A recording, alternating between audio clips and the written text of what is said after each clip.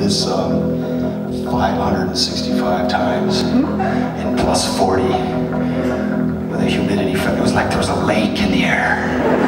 And we were Canadian then, just as we are now. And it was an odd place, this place, behind the walls of Disney. It was a very scary place. People were taking drugs. Even the characters in their suits, it was a weird place because he would run to a refrigerated little room for a while to get